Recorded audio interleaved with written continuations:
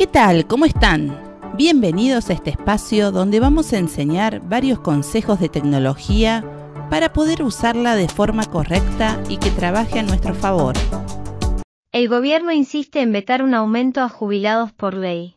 Frente al plenario de las comisiones del Senado, que discute la nueva fórmula de movilidad jubilatoria.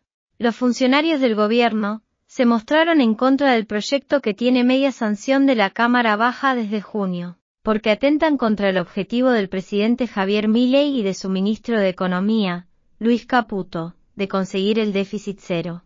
Así lo expresaron en sus exposiciones el secretario de Hacienda, Carlos Gubarman, y el titular del ANSES, Mariano de los Heros mientras que, en medio de las críticas de los senadores de Unión por la Patria por la dilación del oficialismo para tratar el tema, los legisladores libertarios y sus aliados, adelantaron que propondrán modificaciones al texto, lo que impediría que se transforme en ley la iniciativa que aprobó el grueso de la oposición en diputados. Suscríbete a nuestro canal para no perderte estas noticias. La exposición de De los Ceros, director de ANSES fue en la misma línea discursiva que Gubarman. Según de los ceros, el accionar del Palacio de Hacienda con el DNU fue el de restablecer el concepto de movilidad, y sumó. No pretende recuperar o restablecer la injusticia en la que incurrieron anteriores gobiernos.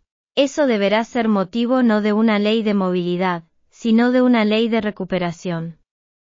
Con lo que dejó en claro que la movilidad libertaria no busca recuperar las jubilaciones en el final, de los ceros fue más claro que Gubarman y admitió que Economía está dispuesto a cubrir la inflación de enero, aunque con otra trampa a la vista. Creemos que no debería ser con efecto retroactivo, sino a partir de agosto. Esto es una verdadera recuperación y es lo posible, argumentó el titular del ANSES, proponiendo que los jubilados sacrificaran en ese camino, lo que perdieron contra la inflación desde enero hasta julio. Si esta información te pareció importante, por favor compartila para que más gente la vea, y regalanos un me gusta para ayudarnos a crecer. Gracias.